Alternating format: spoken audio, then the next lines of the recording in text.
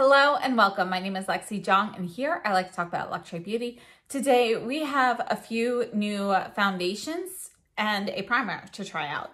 So we have the Givenchy Prisme Libre Skincare Matte Foundation. And if you've been watching my channel for a while, you know that the Skincare Caring Glow is one of my go-to foundations. I use it all the time. And this is also a really nice foundation. So spoiler alert, I've actually been using it for a couple of months. So I can tell you now that I do really like this foundation. And we also have the Clé de Peau Radiant Cream Foundation. So we're going to go over this as well as the Clé de Peau Brightening Enhancer Veil. This has broad spectrum SPF 32 as well. So let's go ahead and get started. So we're gonna start with the Givenchy Prisme Libre Skin Caring Matte Foundation. And this comes in 35 shades. It retails for 49 US dollars and it has just released here in the US. And this is a medium coverage matte finish. Here, we'll put a little bit here. And I typically wear shade 1-N95, but as I mentioned, I was a little I was able to get this one a little bit early. So I've been able to test this for a while. So this is kind of spread out. This, I'll leave that a little, you know, liquidy so you can kind of see the difference there as it dries. But so I was able to get this foundation early in shade 1-W105. So it's a little bit warmer than my typical shade and slightly darker, but uh, you know, they had just a few shades out for testing and, you know, they were kind enough to send this to me. So this was a gifted foundation. I love the formula and actually this shade works for me um, when I, I like to mix it with my Skincare and Glow foundation, just like I do with the um, the Clé de Peau Radiant Natural and the Radiant Matte. I love a mix of those and I do the same thing with this. So I've actually been wearing it for months that way, but today I have it on just this shade. And you can see that it still works on my skin. It's a little bit deeper and a little bit more warmer, a little bit more yellow than what I typically wear. Let me show you the Skincare Caring Glow in 1-N95. And just put that right here. So this is my normal shade. So I actually will be purchasing a uh, new version, a new one of these in the 1-N95 as well, which is my normal shade. But I figure, you know, might as well wait for a sale at this point since this one does work for me, you know, mixed as well. So we have 1-W105 and 1-N95 in the glow here. So those are the two finishes. And I have to say the Skincare and Glow, this is one of my favorite foundations. It's like a, a light to medium buildable coverage foundation and it's glowy without being pearly, which you kind of get with some of the more glowy ones. And it also doesn't have that greasy look. It's more luminous than uh, what I consider a true radiant foundation, which can just look a little bit more pearly or shiny. And this matte, I have to say the closest matte foundation to this is the Guerlain L'Essentiel foundation. This is the High Perfection foundation that was not released here in the US. Uh, Finish-wise on the skin, that's what this one reminds me of. So this is shade 00N. And you can see the similarities in those two shades here. So um, you know, it's actually pretty, pretty close. Now, finish wise, they're both going to be very nice mattes on the skin. I have to say though that the Givenchy feels just a little bit more hydrating on my skin than the Guerlain does, but it's very, very close. Now, just a little bit of information from Givenchy. This foundation is a skincare infused, long lasting matte foundation that is lightweight and natural while blurring and addressing imperfections for up to 24 hours. So as you can see in these clips here, this is kind of what it looks like up close on me. It's a really nice foundation. It does give you kind of that blurred, perfected look on your skin. It doesn't settle into lines. It performs really well and the coverage is medium. I consider these, I consider it like, um, Yeah, I, I would say it's a true medium, but if you want to make it like a light medium, you can. So it's really nice. Some of the key ingredients that they're using is capucine extract for natural radiance, pink clay for nourishing the skin, and annatto extract, which encourages clarity and helps reduce the appearance of pores. This foundation is made with 97% natural origin ingredients and 82% skincare formula. It reduces the appearance of pores while addressing imperfections, mattifying, and hydrating. It also provides a buildable finish that lasts all day. And I just say, I feel like that is really accurate uh, for how it performs on the skin. It gives you that matte look on the skin without being drying. There's like a, a little bit of a luminous matte finish. And I do have a, a demo that you'll see when we talk about the, uh, the primer here um, of using this foundation with and without that. You can see that there's still a luminosity even without a more luminous primer. So today, the foundation I, or the primer that I have on here is the Surratt Perfectionist primer, which is a more mattifying primer. And I use this particularly so that you can see the luminosity that the foundation itself brings. So when it says it's hydrating, I wouldn't say, you know, it's hydrating, it's getting like greasy or anything, but it's not drying to the skin at all. It's going to keep your skin feeling nice and fresh and not tight at all throughout the day. At least it does for me. I have normal to slightly dry skin. Now, clinical results, according to Givenchy, in a test on 102 women aged 20 to 40 years old for one week, the results included 93% of women said the product provides a perfect, perfecting blurring effect. 91% of women reported a smooth skin texture and 91% of women noted improved skin clarity. Uh, as to whether or not I've noticed skin clarity, honestly, my skin is pretty clear for the most part, so I can't say any, I can't make any judgment there. However, I definitely did not have any breakouts or anything related to this foundation. So I think it's done a great job. One of the best things about this foundation, I think, is also the price point. You're getting like a luxury formulation that performs really well, looks fantastic on the skin, and is priced a lot less, more attractively, it's definitely a more attractive price than some of the higher priced foundations that, you know, I have and love, like the Clé de Radiant Matte and the Radiant Natural. So this is a swatch dried here for, this is the shade 1-W105. We have the Skin Caring Glow version in 1-N95, which would be the color I would purchase again. And we have the Guerlain in 00N. And you can see that those two shades end up, you know, drying to be pretty much the same. So it definitely is a shade that will work for me as well. So if you're slightly warmer than I am, this would be a good shade for you. Now, just a fresh swatch here to show you the oxidation level of this. And that's one of the things I like about this. There is, you know, it, it's drying. So when it dries, it will oxidize a little bit, but it's not going to be a huge drastic difference um, from what you'd expect, at least compared to certain others like the Makeup Forever and so forth. So there is some oxidation that will occur. I feel like oxidation is always a little bit more evident in a matte foundation as well. Next, let's take a look at the Clé de Peau Radiant Cream Foundation. So this comes in 24 shades. It retails for 130 US dollars. And I have shade I-10, which is my normal Clé de Peau shade. So this is a squeeze tube. I think the squeeze tube you know, it's taken me a little bit of time to get used to the squeeze tube um, and not get too much product out because with this one, a little bit goes a long way. So even though it's kind of, you know, seems like a small packaging, it's actually, it's 0.88 ounces or 21 milliliters. By the way, the Givenchy is 30 milliliters. Yes, and it's made in France with um, a one year shelf life. The Clé de Peau is going to be made in the US and it has SPF in here as well. So we have a broad spectrum SPF 25. There's octinoxate 4.4%, titanium dioxide of 1.2%.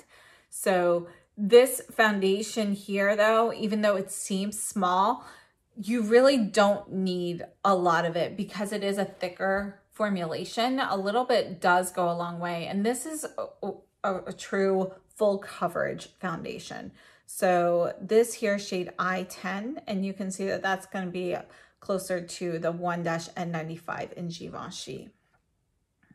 So as you're looking at the wear test for this foundation, let's go over a few details. According to Clé de Peau, this is a skincare-based cream foundation with moisturizing medium to full coverage that visibly perfects skin with a naturally dewy, lustrous finish. It provides exceptional all-day wear that resists creasing and caking, proven flawless for 24 hours. I did not test it for 24 hours, but you can see even after a lengthy wear test, it still looks great. It's formulated with deeply hydrating ingredients, comforts skin while minimizing the look of signs of aging and imperfections. Skin feels smooth and moisturized even after makeup is removed. And I have to say that is true. There's definitely a hydrating quality of this foundation that even when you move it, uh, remove it, it feels uh, like your skin still has a little bit of moisturizer on. I have to say the first time I removed it, I did have to wonder whether or not my cleanser had really gotten all of the makeup off. It definitely did, but you are left with a little bit, you know, it just feels like a little bit more moisturized. So definitely something interesting to note with this foundation. If you have very dry skin, this might be one that you would really like. Uh, some other notes about this foundation, and I found this very interesting. Like the mind, skin is smart. And this is directly from the Clé de Peau website. Radiant Cream Foundation SPF 25 leverages skin intelligence, capitalized, to support your skin's maximum ability to restore and protect itself. This product helps you respond to the good, such as nutrients, sleep, and moisture, and the bad, such as pollution, stress, and dryness, for your best skin.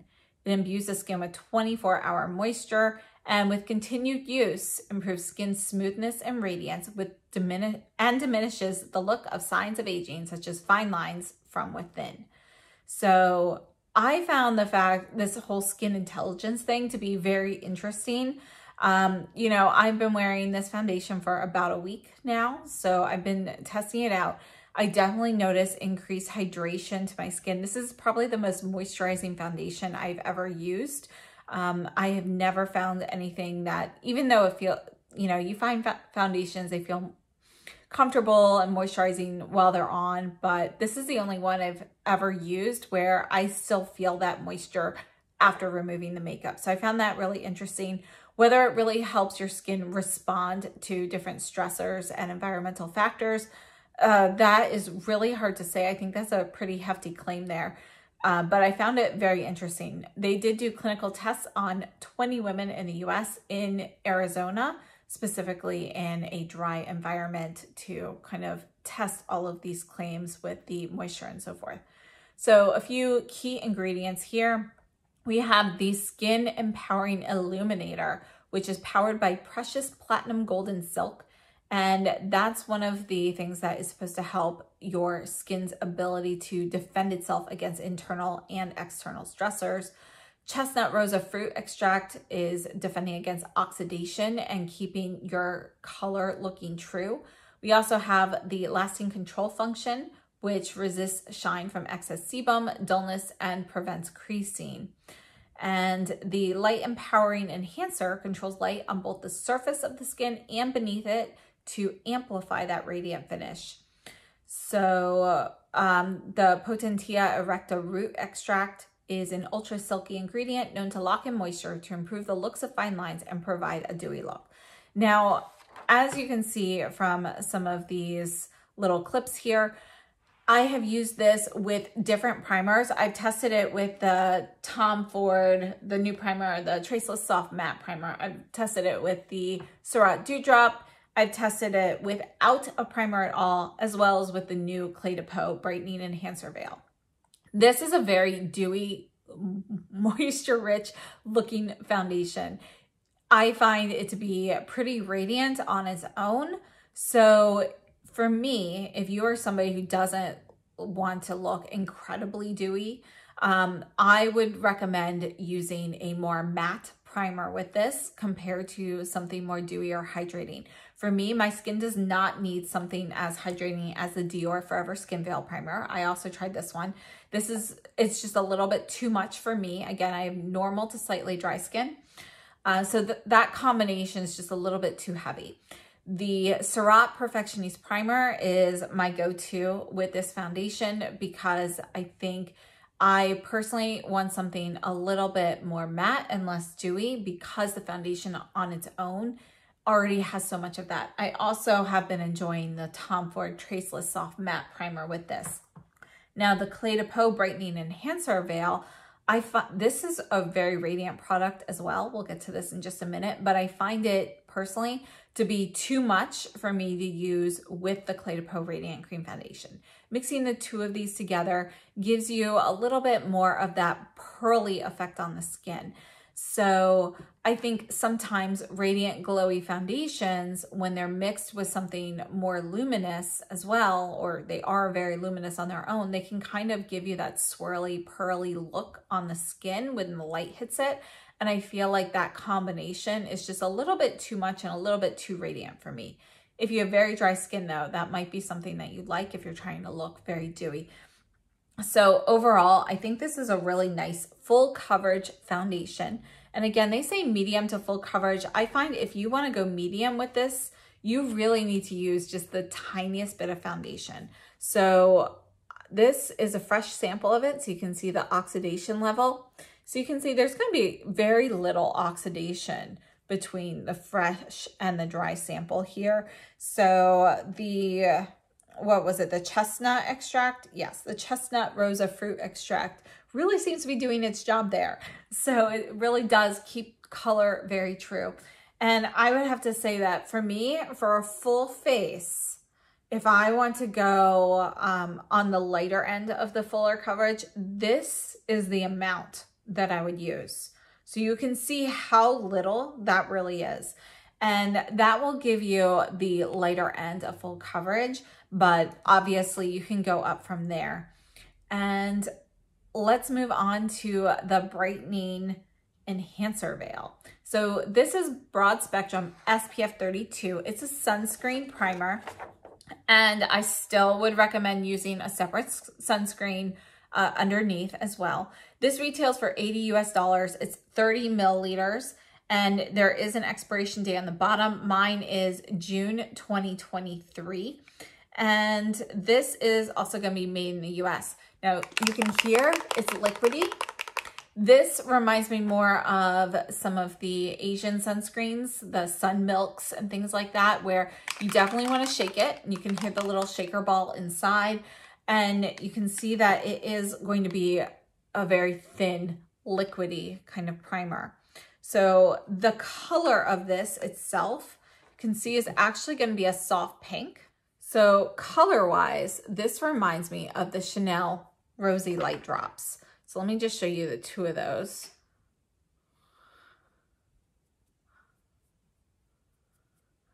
So we've got the Rosy Light Drops and the Clé de Peau. You can see the Rosy Light Drops are a little bit cooler in tone, but when you spread them out on the skin, they're going to be pretty similar.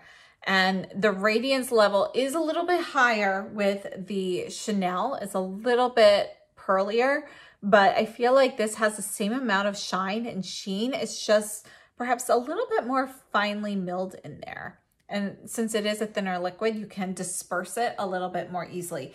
But regardless, this is definitely a very radiant, luminous looking mixture.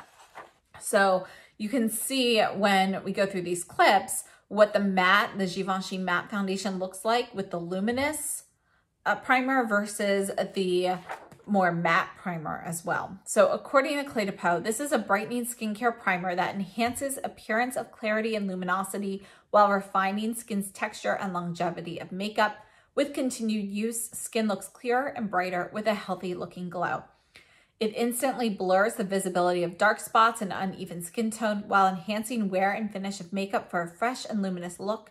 Infuses skin with 16 hours of skin, skin quenching hydration. So uh, just like the foundation, it also talks about the skin intelligence, Uh, so that is going to be a, a component, a complex that they have in here with their ingredients. It is lightweight, has a serum-like texture that dries down to a dewy finish and instantly melts into skin. It leaves skin cushiony, soft, and smooth, creating the perfect canvas for foundation application that follows. And it helps, per, you know, it has SPF, so it's gonna help protect skin from UV rays. So for me, again, here is it dried down. So this is the Clé de Peau. This is the Chanel. You can see the Chanel has just a little bit more, more of a like a metallic reflect compared to the Clé de Peau. Now I have used this Clé de Peau with a variety of uh, different foundations to test this out now. So I have worn this with the Givenchy. I've worn it with this Clé de Peau as well as the Clé de Peau Matte and Radiant Natural and the Chanel Ultra Le Teint, which is a matte foundation as well. This is a pretty luminous looking primer. I have also used this just on my skin with nothing else. Now for me, this is just a little bit too luminous for me to use on its own. However, I think it's a really great base for matte foundations in general, especially if you have something that's a little bit more of a flatter matte.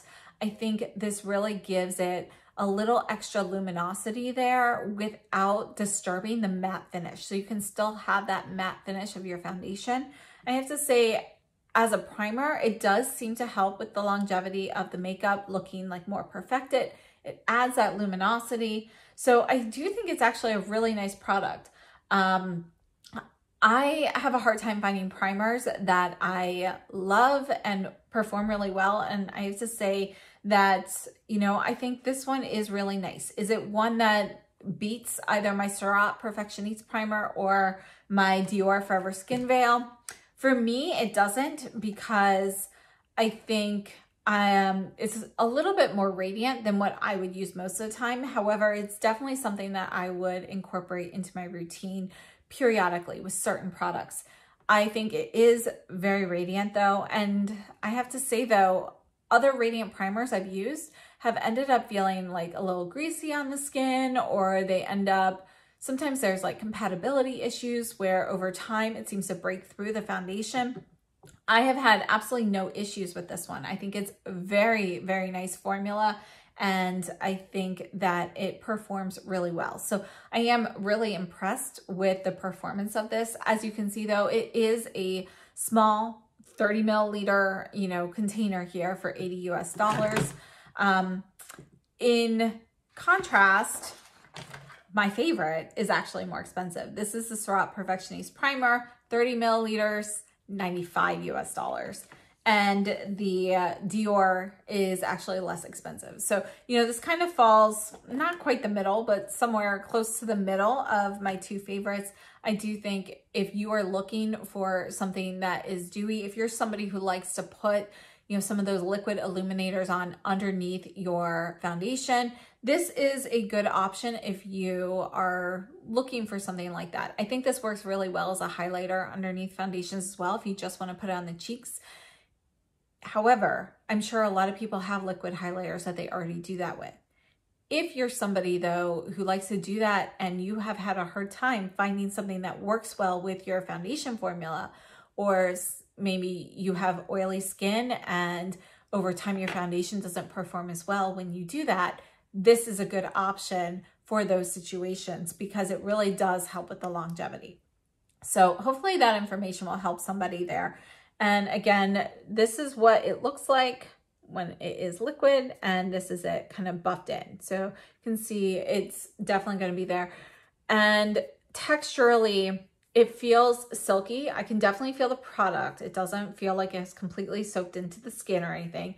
I feel it more like like you would put a silky moisturizer on, like something lightweight.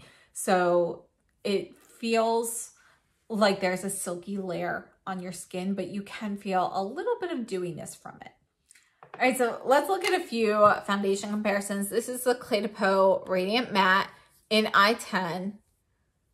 So you can see how consistent the color is with the cream foundation. Here's the Radiant Natural, also in I-10. So I feel like The cream foundation kind of fits right in there. They're all pretty much the same. So a few other comparisons. This is the Koh Gen Do Aqua Foundation. This one is 002. I'm going to put this one right here so you can see this one matched more with the Givenchy. And here's the Koh Gen Do Aqua in 012, which is going to match better with, let's get a little bit more there. This is going to match better with the I-10. And we're just going to do a couple more. This is the Chanel number one to Chanel foundation. This is in shade BD01. And Chanel Le Beige in BR12. And let me just put the Givenchy near that one as well.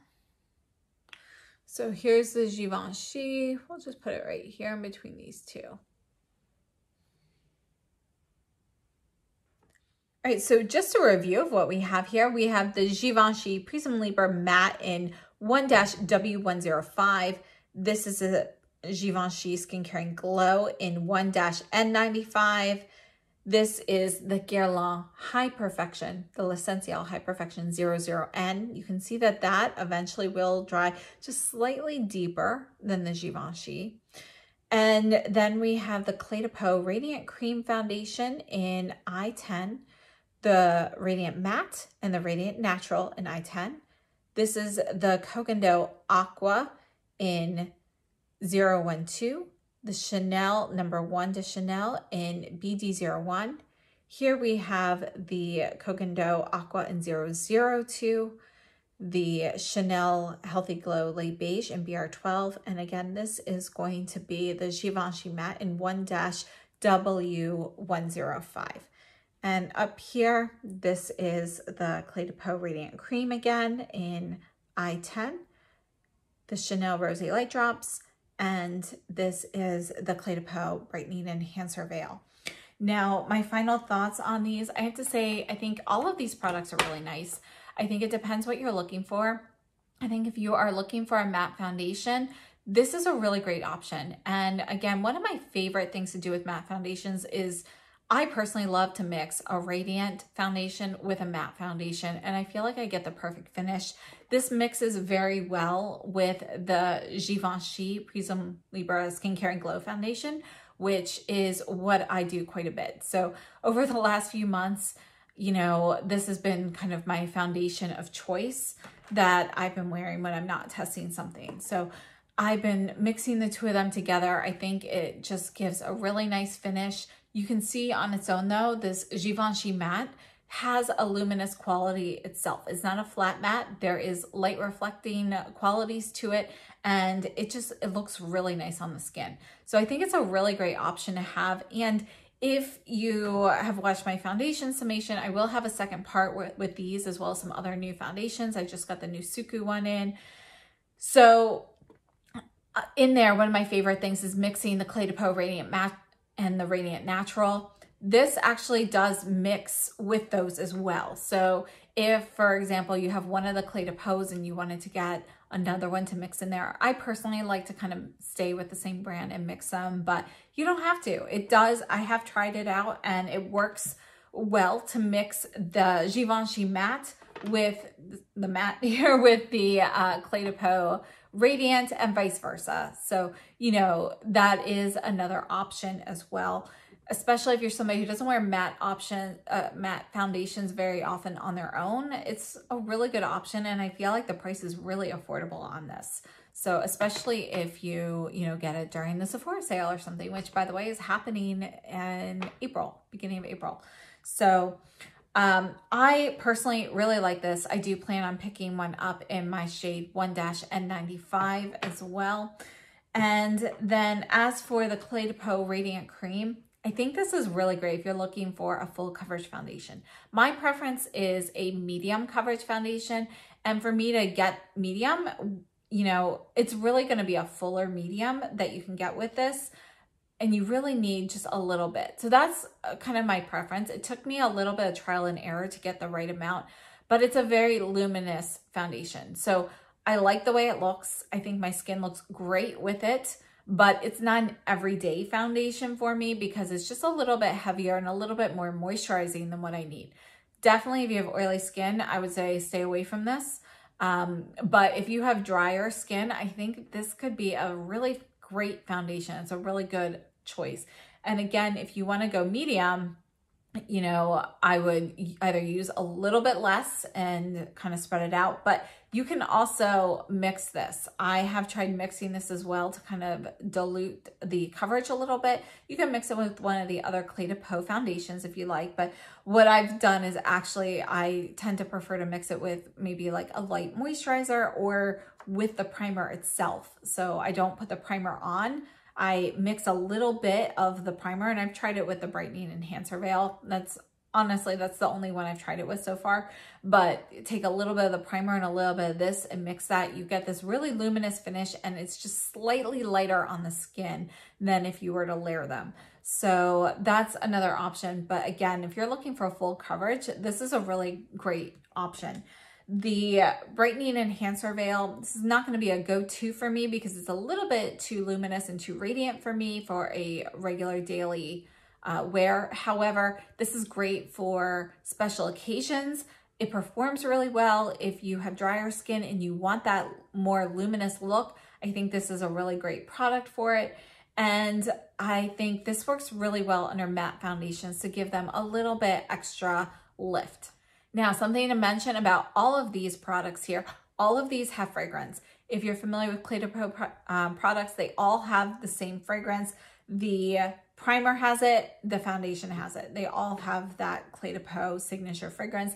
The Givenchy foundation also has fragrance. So um, just something to note, I don't find any of them to be incredibly overpowering with the fragrance. None of them bother me, but you know, they are in there. So definitely, you know, if you're looking for something fragrance free, these will not be options for you. So I hope this was helpful. And one last thing I wanted to mention about the Givenchy foundation, this, and you saw this during the wear test, but I actually have it paired with the Bobbi Brown Crushed Creamy Color for Cheeks and Lips in Pink Punch. And it's kind of, you know, it's one of these like creamy cheek products that, you know, it's like a liquid and it's very like luminous on its own. And it performs really well with this. There's no lift off of the foundation. It doesn't disturb the foundation. Everything, you know, your foundation sets. I've used it with several cream products and it really performs well. The Clé de Peau, I feel like also performs well with uh, the creamy products, but you do need to make sure you give it like a minute or two to kind of set on your skin before using it, or you might see a little bit of movement with that product in the beginning. But if you give it a few minutes to kind of set, it works well with those as well. So uh, thank you so much for tuning in. I hope this was helpful and I will see you very soon. So have a great day and stay safe and healthy.